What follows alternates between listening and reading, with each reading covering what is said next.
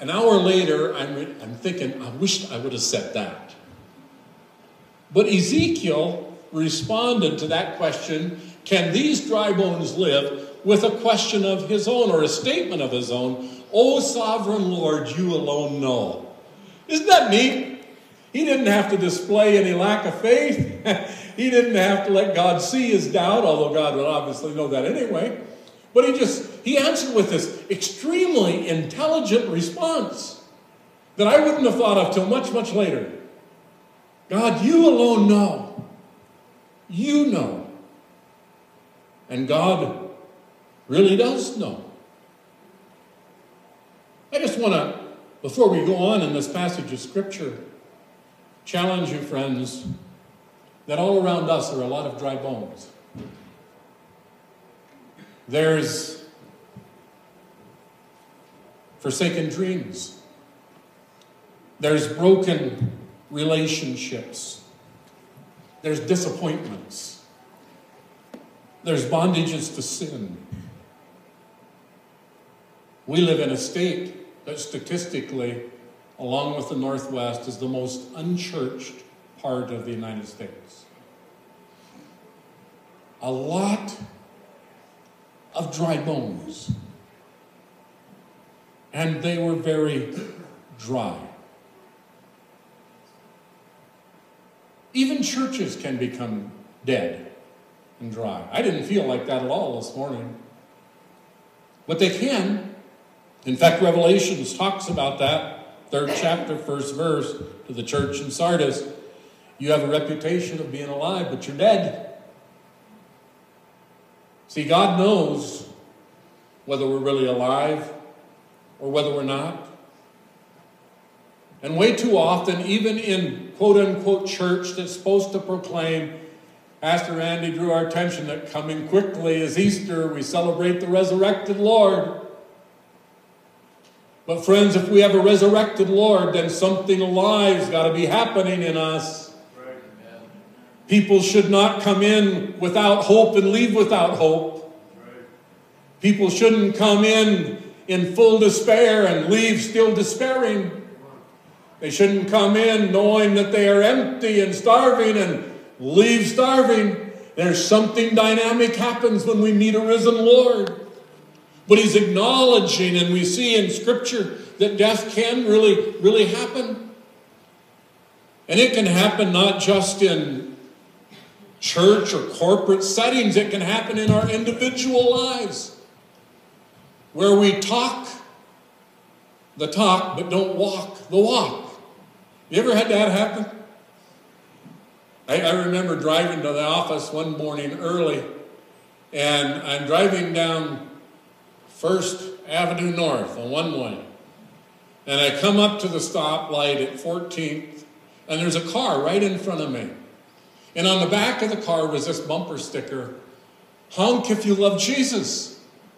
Now, I didn't think too much about that, except I thought, I love Jesus. And so I honked. and immediately an arm shot out the window, and I got the one finger salute. and I came to the quick conclusion that either that was a Christian having an extremely bad day or somebody bought that car and forgot about the bumper sticker. I'd like to believe it was the latter. But when Christ is within us, friends, something happens, and we need Him. Colossians 2.13 says, You were dead. That's me. That's you. We were dead in our trespasses and sin. Romans 5.12 says that death has passed upon all men because all have sinned. And the question comes this morning can these bones live? Where death has happened. You have a friend, you have a loved one, someone that's close to you. You just wonder if their life could ever change. They're so far, far away from God. And we ask the question can these bones live? Can God do that? We look at perhaps parts of our city and we see it covered with darkness. And we can rightly ask the question can these dry bones live? Can that be transformed? Can that be changed? I think we ought to ask that question because there's an answer to that. I have come that you may have life, God says. And He's no respecter of persons, He's no respecter of towns, He's no respecter of churches. He just came so that we could have life. Back to this wonderful portion of Scripture in Ezekiel chapter 37. Where'd we leave off? The third verse. We'll start with the fourth. Then he said to me, This is God speaking to Ezekiel, prophesy to these bones and say to them, Dry bones, hear the word of the Lord. This is what the sovereign Lord says to these bones I will make breath enter you, and you will come to life. I will attach tendons to you and make flesh come upon you and cover you with skin. I will put breath in you and you will come to life and you will know that I am the Lord. Now let's just for a moment put ourselves in Ezekiel's shoes. I am looking at this valley of very dry bones. And God has asked, Can these bones live? And I have said, to avoid dealing with the reality of doubt and question in my own heart, God, you know. And now he's telling me, speak to these bones. Now, I don't know about you, but if God told me that, and I was looking at this valley of dry bones, I, I would first of all look around to see if anybody else could see me. Because I'm smart enough to know that if I start talking to a bunch of dead bones about coming to life, that there's going to be people in white jackets get a hold of me and they're going to put me away so I don't hurt somebody. and I don't know if there was a crowd around that day, but Ezekiel had to make a decision. Am I going to obey God? Am I going to do what He has told me to do? This is what I want us to see this morning, friends. Is that if you want a miracle, God's going to ask you to participate. He's going to ask you to invest. If we want forgiveness, He's going to ask us to repent. No forgiveness comes without repentance. My participation allows the miracle of God to bring about the total remission of my sins, removed from me. But I have to do my part. If I really want God to lead and direct me, then I have to take some steps and follow Him. Very seldom is the Red Sea parted until we step in it. Very seldom is the miracle displayed until I have actively responded to God's invitation. If I want God's financial blessing and so on in my life, and this isn't the reason we do it, but it's the principle.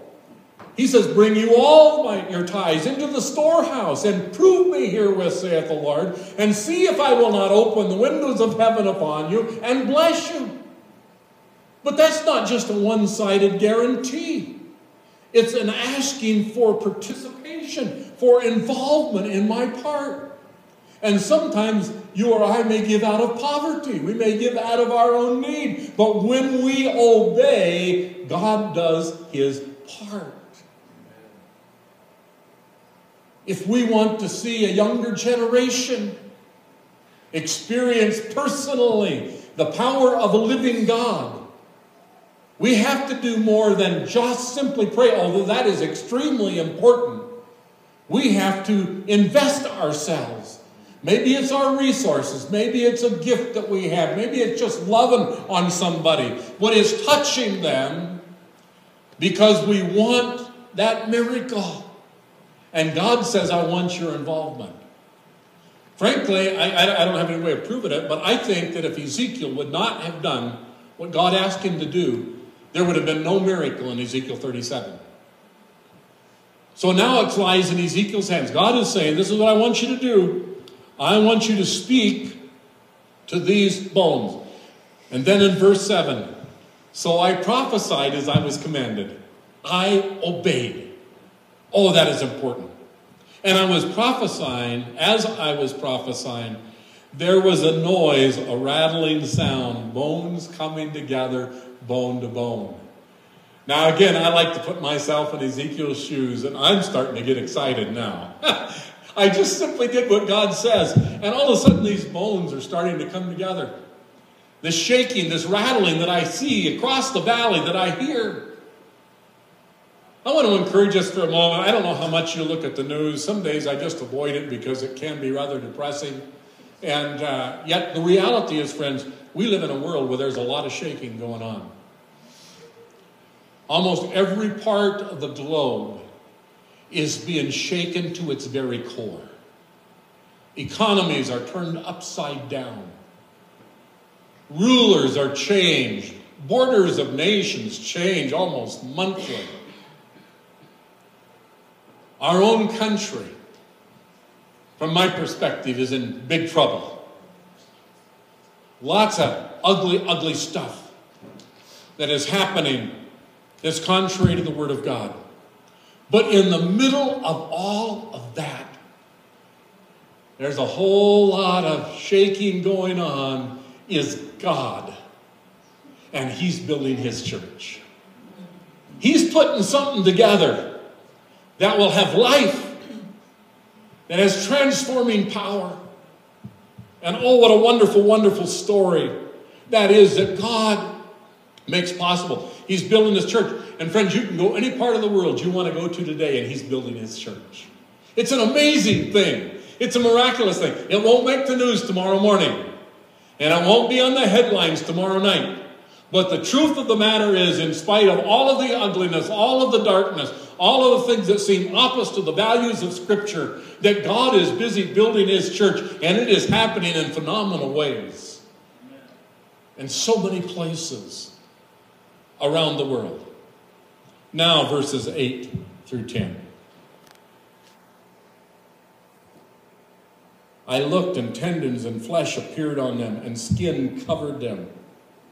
But there was no breath in them. Then he said to me, Prophesy to the breath. Prophesy. Now, again, if I'm in Ezekiel's shoes, this one isn't near as hard. I mean, I've just seen this miraculous stuff happening. Now I'm looking around hoping somebody's watching. Wow, look at that Alan, man of faith. he, he speaks to bones and they come together. Watch what's going to happen now. I hope I wouldn't be that way. But Ezekiel now, I think, is speaking with a different kind of confidence as he begins to prophesy. And he does. He says, This is what the sovereign Lord says Come from the four winds, O breath and breathe into these slain that they may live. I want, I want to draw attention. I, I circled that in my Bible, that word slain. See, these just didn't die of old age, they were killed. Life was taken from them wrongly. And that's exactly a picture of death in our world today, friends. God came to give life it didn't just happen by happenstance. The enemy who came to kill, to steal, to rob, took their life. They were slain. Not of their choosing, but it happened. And he said, So I prophesied as he commanded me, and breath entered them, and they came to life and stood on their feet, a vast army. Wow, what a picture! A vast army.